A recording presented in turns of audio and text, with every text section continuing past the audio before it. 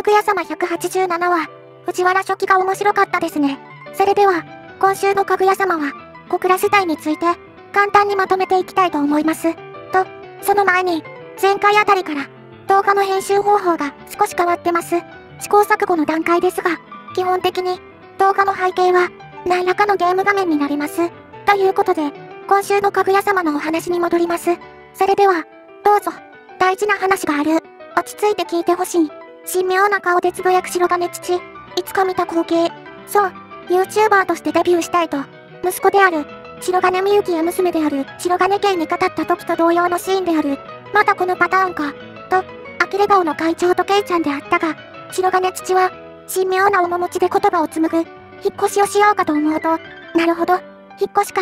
なんと、白金父は、引っ越しをしようと考えていたのである。その理由としては、今回の YouTuber デビューに伴い、ストーカー被害に遭ったことに起因するとのこと。物騒な世の中ですね。今回のお話で、その人物のビジュアルは明らかにされませんでしたが、白金父曰く、露出がひどく、その人物は、自分たちの家までついてこようとしたとのこと。このような出来事もあったため、娘の K の身を案じ、せめてオートロックのあるマンションに引っ越したいとのこと。そこで、物件選びは色々勉強になるからと、重大な家探しを任された会長。責任重大である。そして広さは 3K から 3LDK と聞き、やっとプライベートな空間がもらえると涙するケイちゃん。これで、もう、鬼、意と同じ空間にいなくて済むと、確かに、一瞬決まった田中の女子にとって、プライベートな空間があるか否かは重要な話である。そして、場面は、代わり、いつもの生徒会室へ、会長は、物件選びで条件を整理する中で、篠宮かぐやが住んでいる住居の近くに引っ越せば、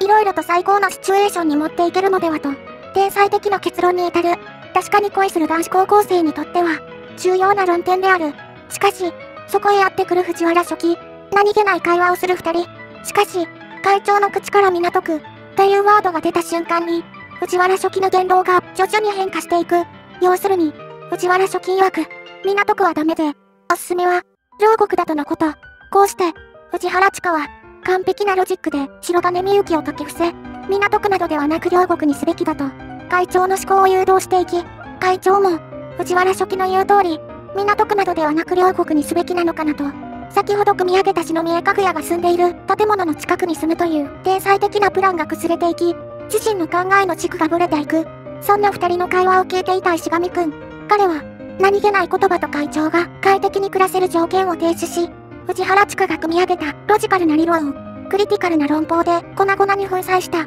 そんな石上くんの言葉を聞き、今から、そんなテク覚えたらよくないですよ。若い時に、苦労は勝ってでもしろって言うじゃないですか。とあからさまにうろたえ始める藤原地下。そんな藤原地下の様子を観察していた石上優は、ある一つの答えにたどり着く。え、もしかして、藤原先輩、と内観す時にしてますと、そう、何を隠そう、この藤原地下という名の天才的な頭脳と殴りやすいボディをしていた生物は、都内カーストを気にして、何食わぬ顔で、白金みゆきに思考誘導を試みていたので、ある。そして、いつものように、自身の天才的かつ浅はかな思考回路が組み上げた藤原ロジックを、石上くんに解析される藤原地下。こうして、石上優にボコボコにされた殴りやすいボディをしていた女は、石上くんと、いつものやりとりを始める、両国の皆さん。この人両国を見下してますよ。叩いていいんですよ。石上くんが、周囲の人々に警告をしていると、そこへ遅れてやってきた、かぐや様。何を騒いでいるんですか？外まで聞こえていますよ。と、そして、会長から、引っ越しの件を聞いたかぐや様は、会長が、今の家を引き払う前に、一度会長が育った家を見てみたいと言い出してしまう。そんな彼女の言葉を聞き焦り始める会長、というお話。今回は、会長たちのお引っ越し会の前日端的なお話でしたね。それにしても、都内カースト、コミカルだけど、読みが深いお話でしたね。生きている限り、人間は、マウントを取りたくなる生き物なのかもしれません。皆さんも藤原ロジックに汚染されないように気をつけて、現代社会を生き抜きましょう。そして、自分の住んでいる家、というか、アパートを、彼女である篠宮かぐやに見せたくない会長。思春期男子っぽくてお可愛い感じでしたが、また、人波乱ありそうな感じですね。それにしても、白金土をつけていたという謎の女性。誰かに雇われていた女性なのか、たまたま出現したガチ恋勢なのか、ちょっと気になりますね。ただ、少し調べてみると、白金土を演じられている声優さんネタかな、という感じのエピソードもあったので、もしかしたら声優さんネタなのかもしれませんね。私はあまり詳しくないので、そのエピソード知ってるよ、という方がいらしたら、コメント欄などで教えてくれるとありがたいです。あとは、冒頭のケイちゃんの喜び方が半端なかったですね。確かに、思春期女子にとって、プライベートな空間は必須案件。言い方、あれだったけど、めちゃくちゃ嬉しそうな顔してて可愛かったですね。あと、会長の病的な張り紙の数々は、ケイちゃん的には、イかれた張り紙という認識だった。模様。まあ、兄貴の部屋にあんな張り紙が貼りまくられてたら反応に困るよね。でも、言い方、ちょっと笑ってしまった。そして、安定の藤原ロジック。まともなこと言ってるなと思ったらこれですよ。石上くんも相変わらず探偵のような、鋭い洞察力。探偵関連で言うと、風祭りくんとも相性良さそうな気もしますし、いろいろ絡んでみてほしいところです。そしてかぐや様、以前会長の誕生日やら生まれた時の体重やら、ランデブーポイントでの待ち伏せなど、がっ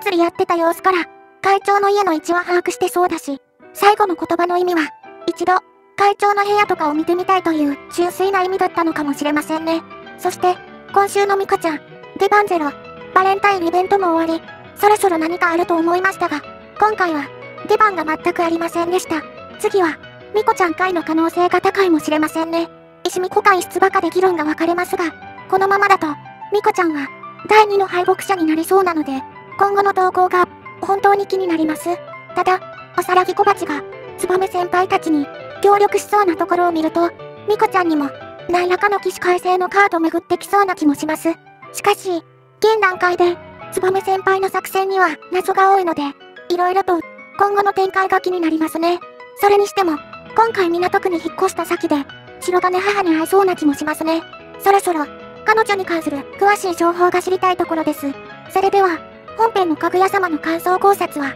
この辺りで終わりになります。お次は、語りたいのお話。ついに、妄想お泊まり会編開幕いたしました。藤原さんが裏山地に、泣きじゃくる個性理か。そんな彼女を慰める気のカレン。そして、個性理かは、天才的な結論に至る。そう、妄想お泊まり会である。しかし、今回のエリカロジックは、カレンの思考回路の一歩も二歩も先を言っていた。なんと、エリカは、イマジナリーかぐや様をこの世という自身の世界に踏み落とそうとしていたのである。要するに、イマジナリーフレンドである。そんなエリカの様子を見て、いつも通り、やべえ案件だと悟ったカレンは、カレンに、話の論点をずらしていき、最終的に、エリカとカレンは、二人でお泊まり会をすることに、なんやかんやで楽しい時間を過ごす二人、眠りに落ちる個性エリカ。そんなエリカの寝顔を見て、妄想力という戦闘力が上昇しまくるキノカレン、というお話でした。本編の時間軸で言うと、藤原地区がかぐや様との泊まり会をして、なんやかんやあり、白金みゆきとハーサカ君の禁断の関係を悟り、花地をボタボタと落とす羽目になったあたりでしたね。なんか、最後のコマが、今後の白金みゆきとかぐや様を暗示しているような感じでしたが、こういう未来が来るのかどうかは、今後の展開に期待ですね。ということで、今回は、この辺りで終わりになります。皆さんの考察や感想などありましたら、気軽にコメント欄に書き込んでいってくれると嬉しいです。それでは、また、次の動画でお会いしましょう。教育してシールズアップ前例を見せる。あまりに脆い。了解マスター